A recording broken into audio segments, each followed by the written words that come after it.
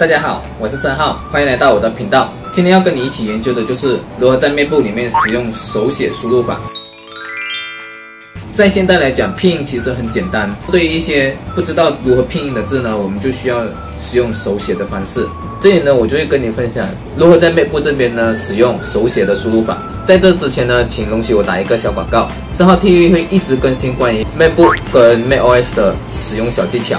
如果你不想错过这方面的资讯的话呢，赶快订阅申浩 TV，然后点击旁边的小铃铛，那么你就会第一时间收到关于我的影片发布的通知。先我们去到左上角这个 Mac logo，选择 System Preference，选择 Keyboard，选择 Input Source，在左下角这边按添加。只要选择了那个语言过后，右手边选择 Trackpad Handwriting，然后选择 Add，它就会添加在这个列表里面的。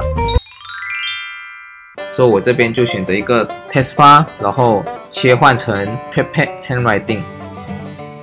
然后只要在你的 trackpad 上面写着你要的字，已经写完了这个字过后呢，你就要在 trackpad 的那个相应的地方点击你要的字就行了。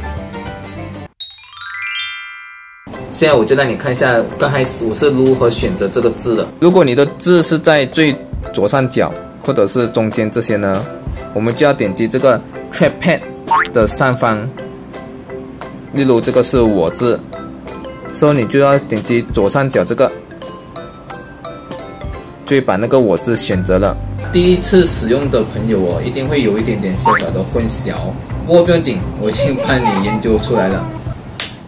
以上就是我要和你分享的 macOS 跟 MacBook 的使用小技巧。如果你觉得这影片对你有所帮助的话呢，请帮我点击个 like，然后分享出去，帮助有需要的朋友。